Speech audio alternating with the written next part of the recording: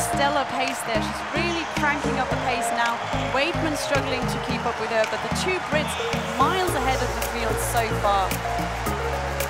McGee now on the shoulder of the Polish runner. Has that bronze from two years ago and a lot of Irish hopes on her, but Laura Muir there looking absolutely fantastic. We know she grits her teeth when she gets to the stages where it starts to hurt. Pole now come back on McGee. There's a heavy battle for the third position and they're both closing in on Weightman who's now tiring heavily.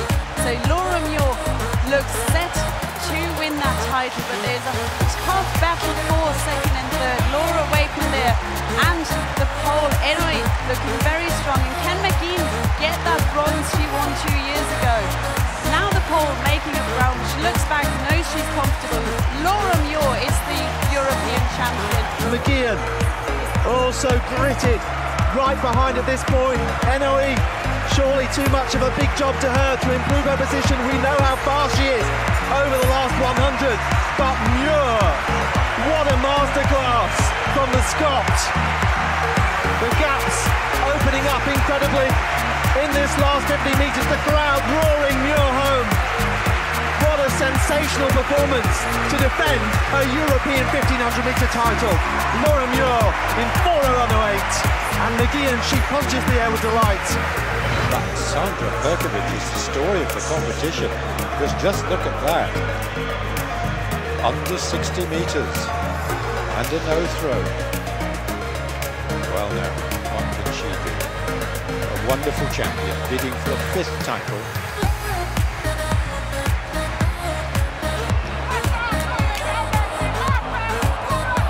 At last, one might say. That's the real Sandra Perkovic. So it is Perkovic, after all, who has achieved history by winning now a fifth consecutive European title. Took her a long time to get going.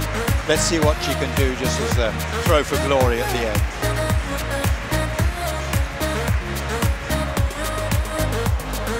Well, it's anticlimactic, isn't it? But nonetheless, here's a great champion. Five gold medals to go with those two Olympic golds, those two World Championship golds. She's the superstar of the discus of the last decade. And only managed to, to produce one decent throw here, but that's all she needed. Moment with six gold medals to her name. Sandra Perkovic trying to match that here in Munich. 65.77 her best mark at the moment. She needs one metre and 16 centimetres to equal the event winning throw. Kristin Pudenz at the moment, she likes that, she roars it down the field. That could put Sandra Perkovic of Croatia up in the gold medal position. That's the first outpouring of emotion we've seen for Sandra Perkovic. Prudence wouldn't like to play poker with the German athlete because she gave nothing away there. Sandra Perkovic strutting down the field, almost goading the home crowd here. They love Sandra Perkovic. She's a brilliant athlete, 67 metres, 95 centimetres. Pudenz pushing herself to a personal best, bitter with the season's best, but they couldn't hold back the Croatian Sandra Perkovic. She's a star at home. They're a small nation, but they're passionate when it comes to sport and when it comes to their stars. Sandra Perkovic is surely going to have a hero's welcome when she heads home. Thiam back in, uh, it seventh? 63.75 by Johnson Thompson. So on schedule for a very decent performance here in this uh, heptathlon. 800 metres, which she's got a best of 207.64.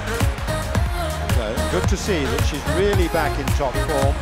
She may not win the gold medal, but she is back having a brilliant season, Commonwealth champion, World Indoor champion, Nafi Thiam plodding along. This is not her event, but she's got a huge gap, particularly crucial for that, with some brilliant javelin throwing.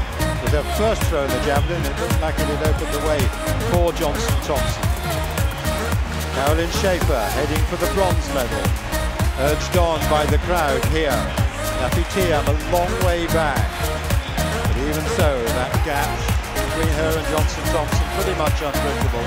But what a very fine run indeed, and a very fine season by Katarina Johnson Thompson, who comes through and she'll take the silver medal. And Schaefer also, following Kacheva, is finishing very strongly. She will take the silver medal. And here comes the champion. Here comes Nafi Thiam to win the gold medal in the 800 metres. Well, that's not exactly great 800 metre running, but look at that. There's the result. 6.816 for Thiam. So here goes. Caroline, Sulek and Witz, those in particular who are battling. So the uh, Swiss Caroline, 5.604 after six events. Her lifetime best, 2.17 from Götzis, the specialist Hypo-Meeting three years ago. Very close, just a tenth of that in Eugene, where she set a new national record. So she achieves that lifetime best. She'll get 6,463 points. But Sulek, maybe she can go a few seconds faster. 207.18 in Eugene.